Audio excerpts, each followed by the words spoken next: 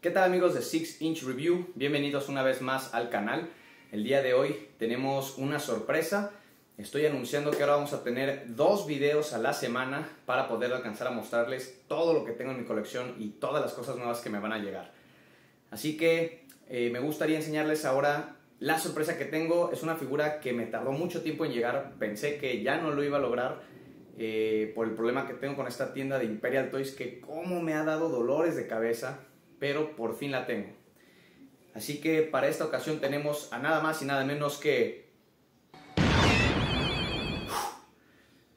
A Kakashi Sensei. El que para muchos de nosotros es nuestro personaje favorito de la serie.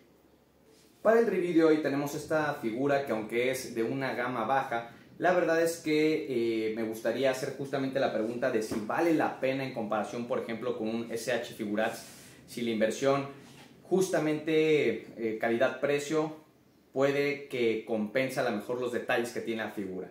Así es que vamos a analizar primero lo que es el empaque y después pasamos ahora sí a lo que es el review como tal.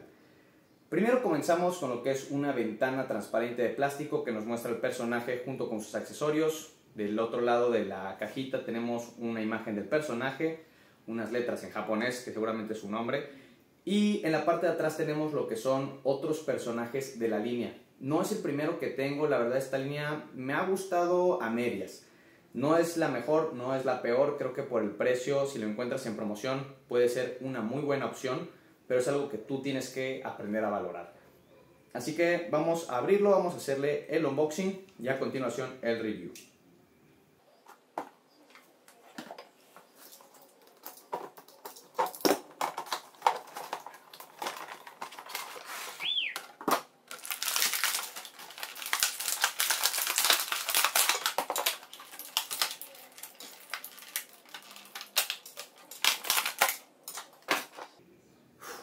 Hasta despedazado salió amigos, pero vamos a ver ahora sí lo que es la figura, voy a darle un vistazo un poquito más cercano y vamos a pasar a hacer lo que es justamente el review de las articulaciones y los accesorios.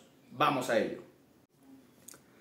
Muy bien amigos, pues aquí tenemos justamente lo que es la figura de Kakashi Anime Heroes y vamos a comenzar por hacer el review de sus accesorios. Vamos a comenzar, eh, bueno ahí tienen una vista rápida de la figura, ahorita la vamos a ver un poquito más cerca para ver la detalle, pero vamos a ver aquí un zoom de lo que son sus accesorios. Empezamos por la espada que trae justamente la que usa eh, Sabus en su batalla, su primera aparición contra Kakashi. Esta espada me parece que es bonita, de hecho yo escogí esta eh, versión del personaje porque traía la espada. Tiene un buen esculpido en la parte de abajo, como dije, para el tipo de línea que es. Cumple, eh, tiene dos tipos de colores para hacerlo ver un poco más metálico y eso me gusta. También tenemos lo que son los cambios de mano, a pesar de que es una figura pues de gama baja como ya mencioné, pero vean por ejemplo el detalle que maneja justamente lo que es no solamente el esculpido en las manos, como lo que tiene las uñas, la parte de metal de eh, los guantes, sino que también los colores y el hecho de que tiene no solamente uno, sino dos, que es esta que es como que una mano cerrada para sostener la espada, tiene dos de cada uno, y un tercero para hacer justamente algunos jutsus. Entonces, esto es algo que me gusta de esta línea, que no queda debiendo con los accesorios, y vamos ahora a verlo un poquito más de cerca.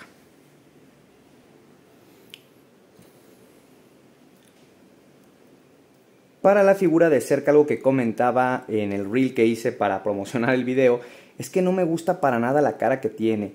Pareciera que faltan cejas. Eh, anoche hice una prueba tratando de verlo como con menos luz, pero la verdad es que no me gusta nada. Lo que voy a tratar de hacer es hacerle algunas eh, líneas de expresión, tratar de marcarle incluso a lo mejor el cabello, pero sobre todo las cejas, los ojos, para que se vea mejor. Tiene además en la máscara este problema de pintura. Podemos ver que el resto del esculpido no es de lo mejor, la verdad es que se ve muy simplón, algo de plástico estático, perdón. Ah, incluso aquí en su hombrera, pues más o menos el rayón que tiene a la mitad hace que se vea medio mal pintado. Es bastante sencilla. Yo la encontré en Amazon, perdón, con Imperial Toys en promoción, pero en Amazon también está como en unos 380 pesos. Eh, la parte de atrás de su bolsita creo que es lo mejor esculpido y el mejor detallado. Pero de ahí en fuera la verdad es que no es pues para nada sorprendente y tal vez hasta cierto punto un poco mediocre. Pero pues es lo que hay por el precio. Así que vamos a pasar ahora sí a lo que es la revisión de las articulaciones. Pues bien, para las articulaciones tenemos justamente lo que es primero la cabeza, con una movilidad a la parte de abajo que la verdad es que no es mucha, hacia los lados también es poca porque el chaleco cubre el rango de movimiento.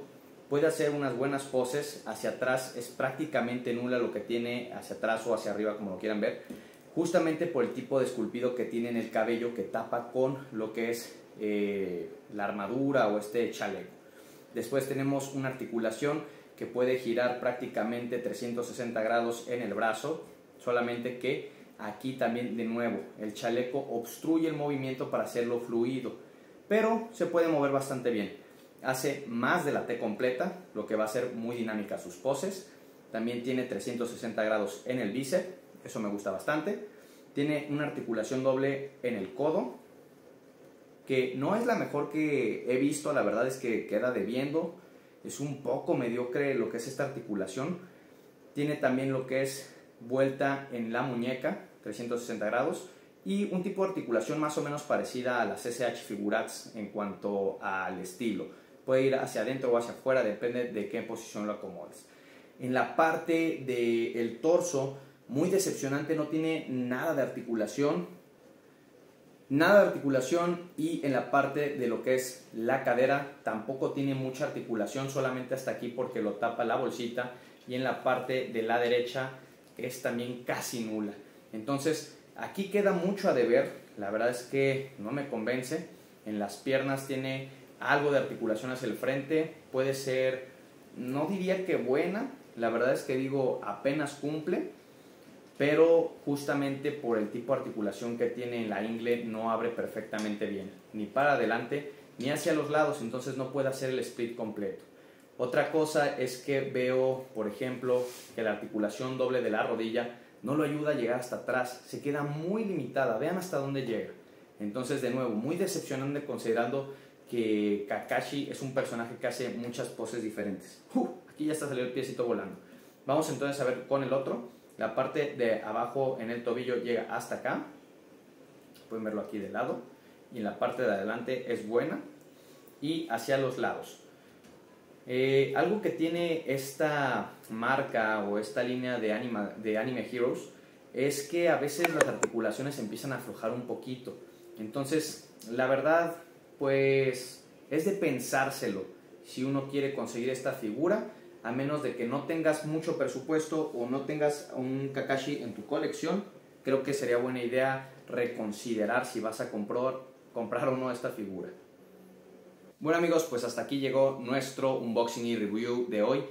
Eh, la verdad es que este Kakashi está de pensársela. Yo lo que recomendaría es que si tienen más presupuesto busquen el SH Figurats, la versión más nueva. He visto algunos reviews muy buenos que creo que vale la pena. Esta me ha decepcionado un poco, no diría que por completo. Yo la compré en particular porque no lo tenía en mi colección y quiero hacerle un custom o un arreglo, por ejemplo, a la cara.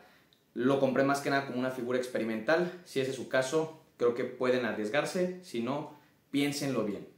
Así que esto fue todo para nuestro canal de 6 Inch Review, Kakashi Anime Heroes. Espero les haya gustado y hasta la próxima.